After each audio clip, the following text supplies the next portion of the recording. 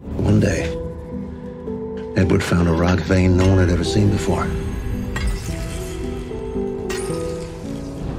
Its glow was mesmerizing. But his discovery was soon forgotten. Because that very night, tragedy struck the town of Wild Horse. The Wild Horse Dam broke. The flood came suddenly. No warning. No chance to escape. He and his wife, Sarah, were swallowed up.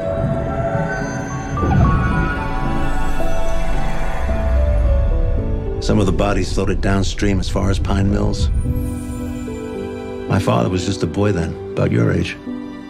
He saw the carnage, saw it himself. And his father, my grandfather, he had to examine the bodies, and he declared them all deceased. That was until Edward Shaw miraculously woke up.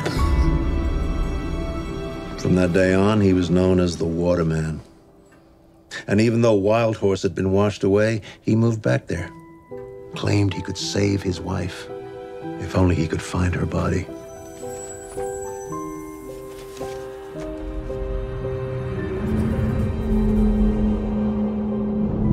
He hung black stones all around the forest to mark where he'd searched.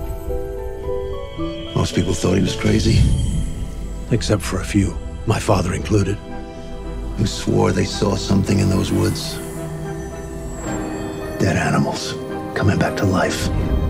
They said it was proof that the Waterman's power is real. Legend has it that he's still living up by the lake, searching the waters and the woods for his wife's body so he could bring her back from the dead. Even if all that was left of her were her bones.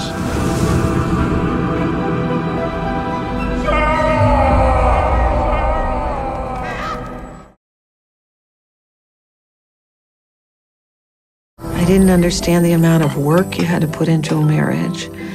I needed to be filled up all the time. I needed to look forward to something. My husband couldn't give me that. Nobody could. Selma was my best friend. We spent days and nights together.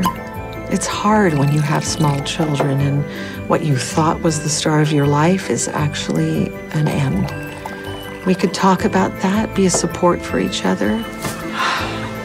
We were at the beach all together. Ash was great fun. He loved to make a mess and enjoy himself. And Selma was like that too.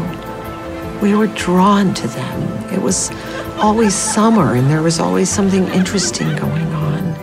And that fills you up for a while. We spent the night in a wood frame cabin. I went downstairs to get a glass of water.